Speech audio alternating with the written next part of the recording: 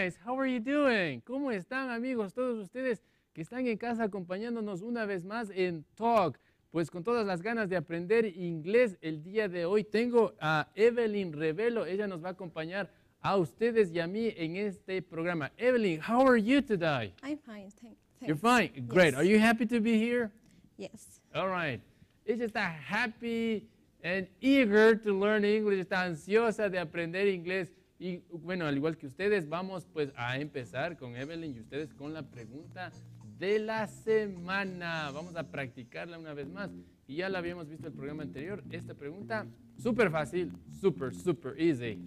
What time do you get up? Let's repeat the question, please, Evelyn. What time do you get up? What time do you get up? Very good. Let's do it again.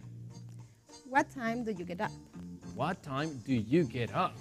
Y tenemos el verbo get up. Y ya, bueno, el perrito que está ahí con el reloj y la gorrita nos da una clave. ¿Qué significa este verbo? Get up. ¿Tú sabes qué significa ese verbo? Levantarse. Ajá. What time do you get up? Dice, ¿a qué horas tú te levantas? Eso es lo que nos está preguntando el amigo de la foto. What time do you get up? What time do you get up? Ya habíamos visto el programa anterior que este do pues era un auxiliar para hablar en presente. Recuerden, esa es la función que tiene el what time do you get up. Ese do solo me indica que la pregunta está en presente. Vamos a ver algunas respuestas a esta pregunta. What time do you get up? Vamos a ver la primera. So, Evelyn, tell me, what time do you get up? I get up very early in the morning at 5 a.m. Very good. Let's repeat. Now, this time I want you to ask me the question. What time do you get up? Okay, well, I get up very early in the morning at 5 a.m. Eso es lo que estamos aprendiendo hoy. El señor que está ahí recostado dice, me levanto muy temprano en la mañana. I get up very early. Early, para los que no se acuerdan, pues significa temprano. I get up very early in the morning at 5 a.m. A veces nos tenemos que levantar a esa hora, pues, porque vivimos muy lejos y tenemos mucho que hacer y tenemos que viajar a la universidad. So, what time do you get up? I get up very early in the morning at 5 a.m. At 5 a.m.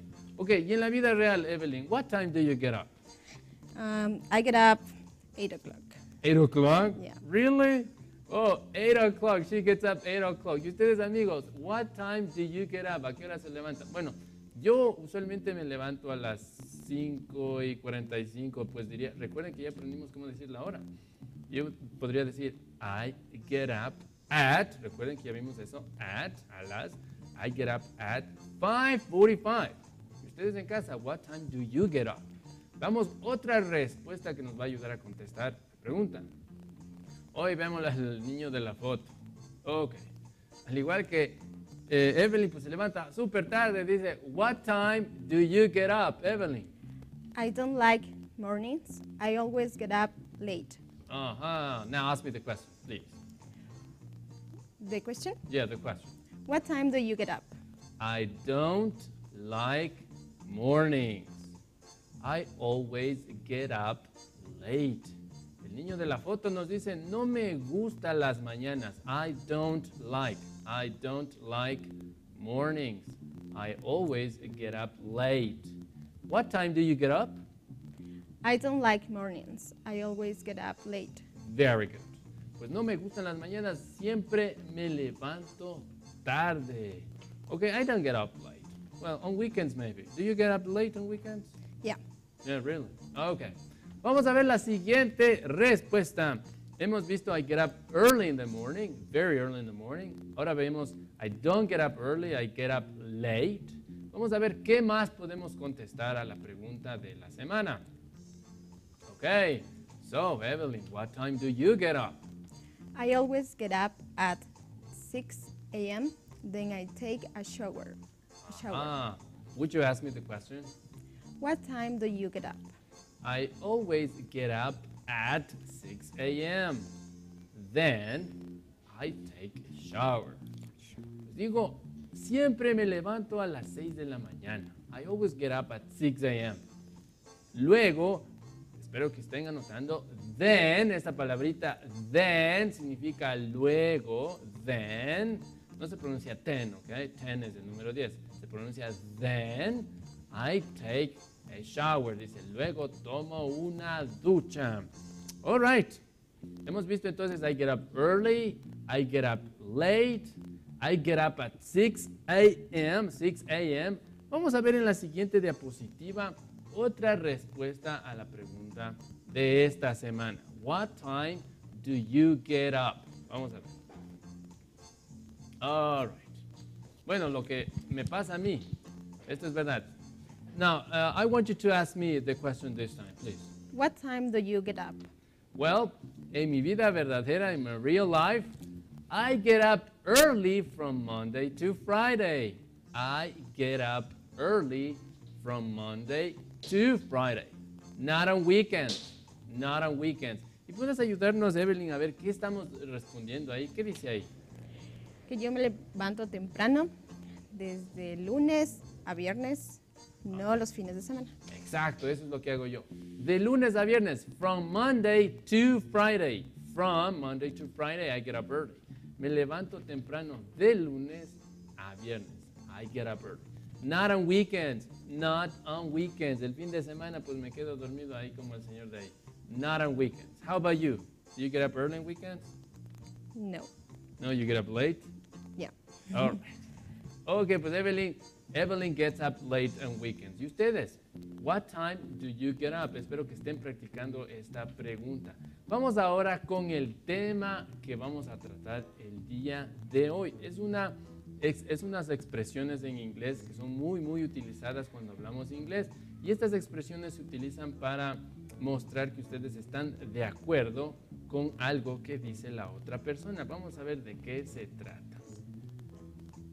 Okay, and these are the expressions for today.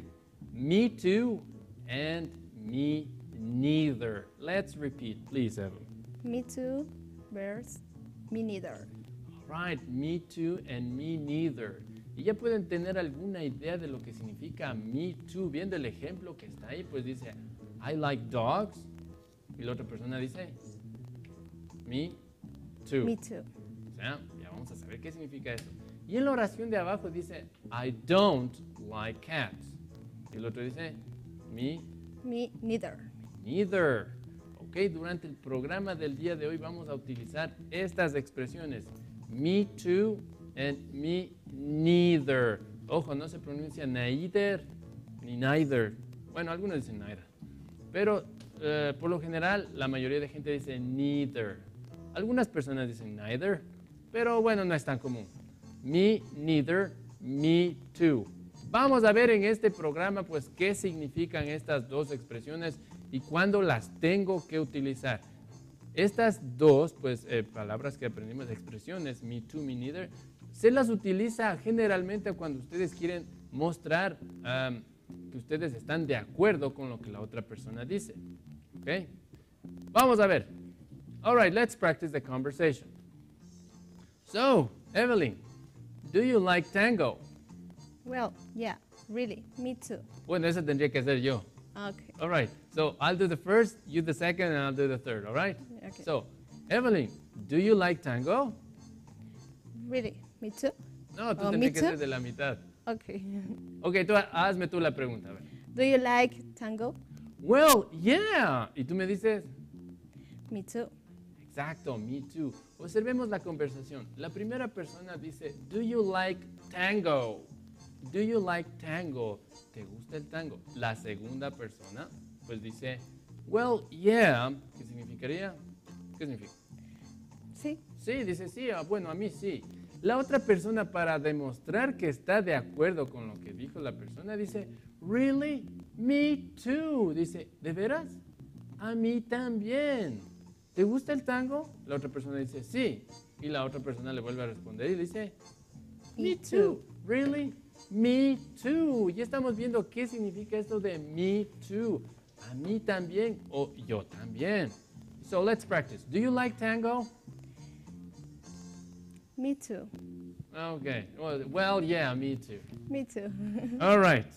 All right, vamos a ver el siguiente ejemplo. Habíamos visto me too, que significa yo también. Vamos a ver ahora qué significa esto de me neither. ¿Ok? Vamos. Ok, entonces, Evelyn, esta es una conversación. La primera oración hace una persona, la segunda ah, oración hace la otra persona y la última respuesta pues vendría a ser la, la otra persona. ¿Ok? Entonces, practiquemos la conversación. ¿Ok? So, Evelyn, do, Do you, you go go- to the gym in the morning?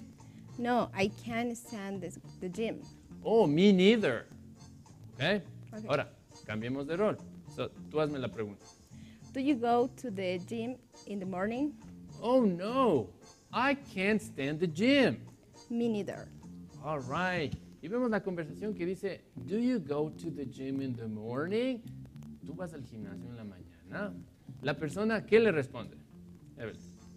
No, I can't stand gym. ¿Y eso qué significa? ¿Nos puedes ayudar? No puedo. I stand. No, no soporto el gimnasio, dice, ¿verdad?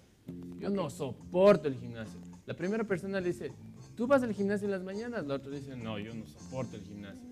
Y la otra persona, para mostrar que está de acuerdo que con la, en la conversación, ¿qué le dice? Me neither. Me neither. ¿Y qué significa esto de me neither? A ver, explícanos. Yo tampoco. Yo tampoco, exactamente. Me neither.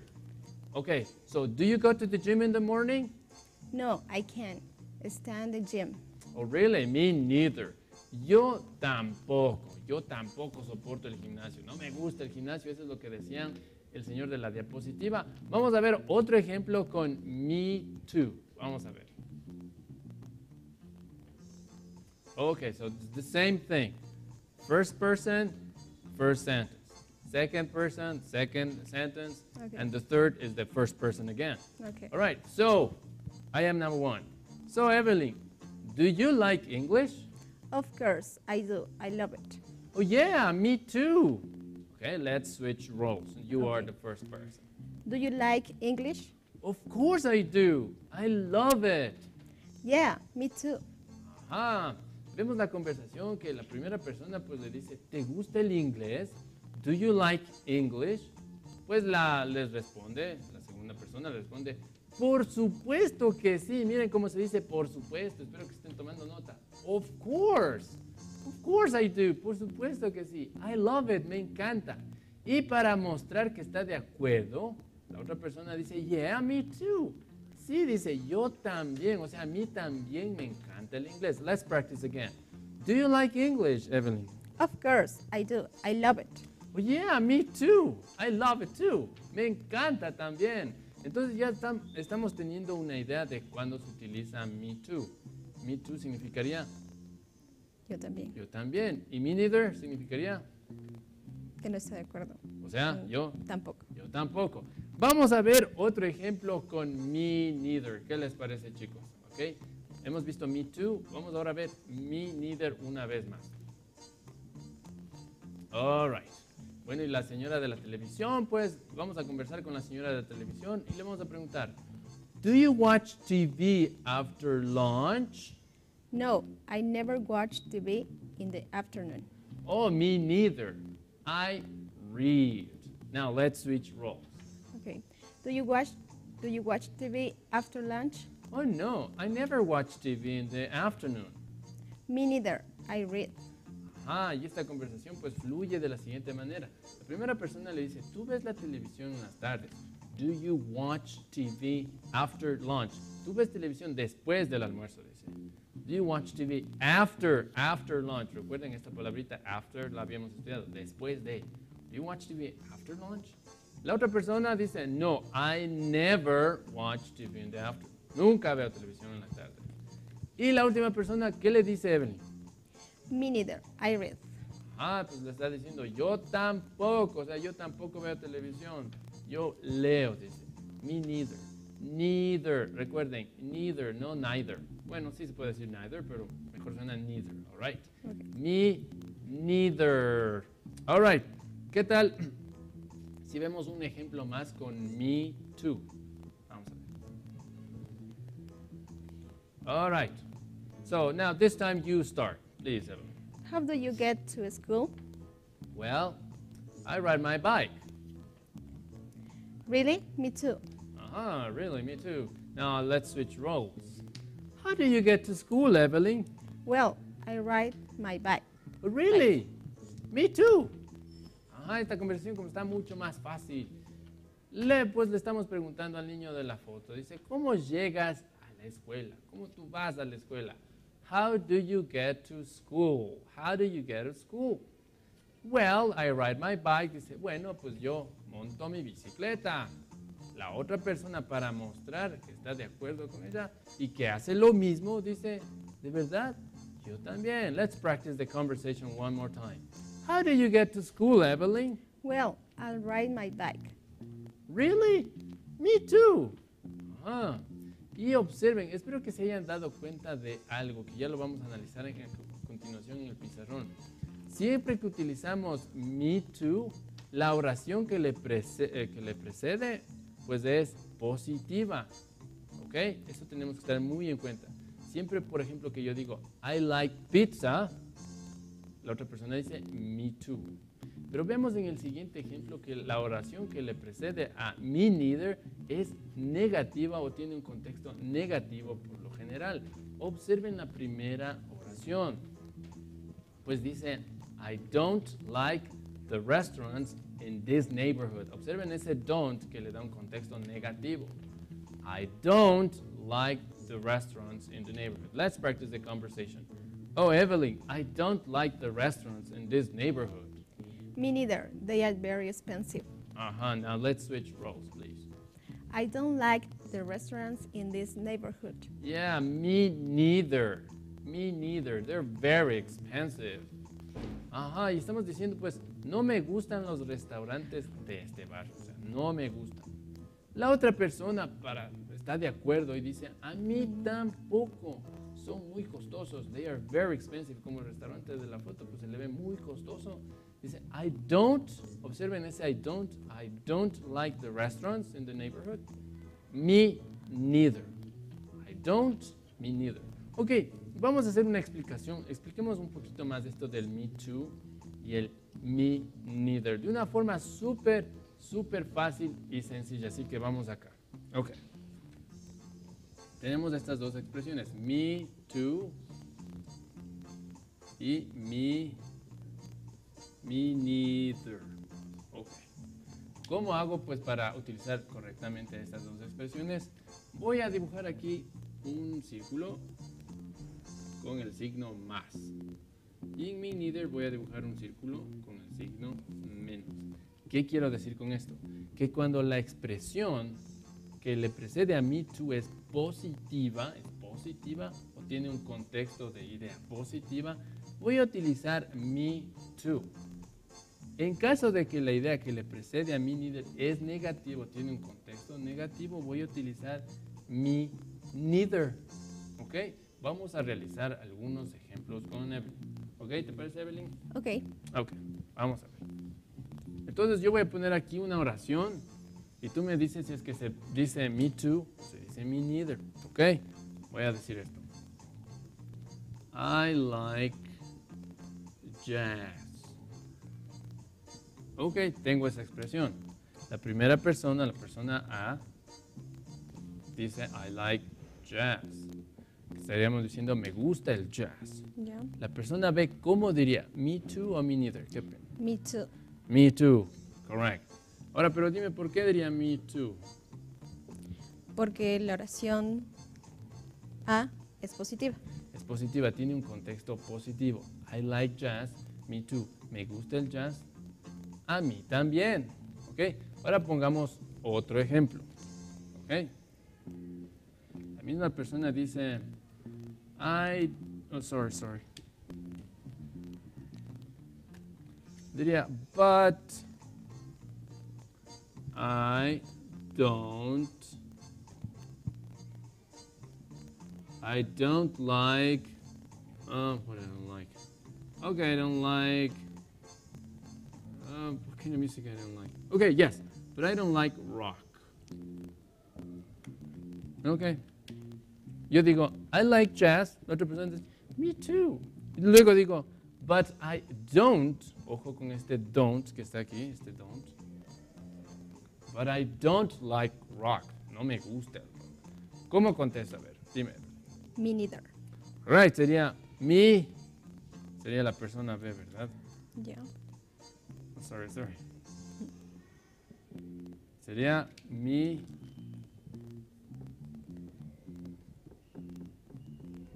Me neither. Alright.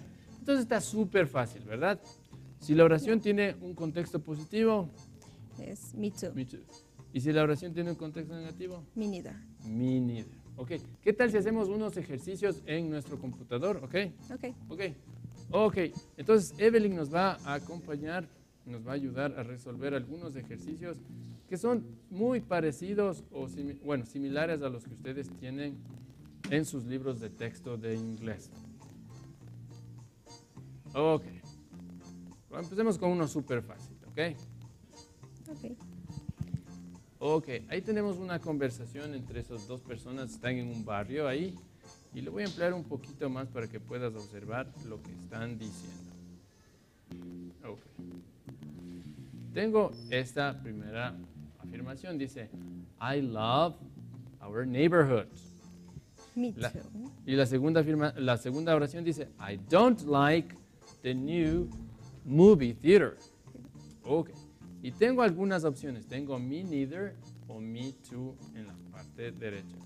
Ahora, dime, ¿dónde le pongo cada una de estas?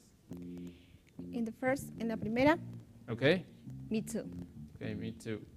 Me too, iría aquí. In the second, me neither. Me neither. Ok. Vamos a ver si estamos correctos. All right. We're correct. We're right.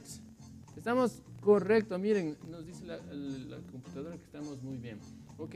Esta oración es afirmativa. Afirmativa. Miren, I love our neighborhood. La otra persona dice, me too. También, I don't like the new movie theater. No me gusta el nuevo eh, teatro o el nuevo cine. Dice, a mí tampoco. ¿Ok? Entonces, ¿qué tal, Evelyn, si hacemos una pequeña práctica con esto de aquí? ¿Ok? Eh, bueno, esto es súper fácil. Voy, a, escri- voy a, a repetir una de estas oraciones y tú me dices si es me too o me neither, ¿all right? Ok. Ok, entonces, bueno, voy a ampliar un poquito más. Ahí lo tenemos. Bueno, y aquí voy a encerrar esto. Yo digo, I like the houses in my neighborhood. ¿Cuál sería la respuesta? ¿Me too o me neither? Me too. All right.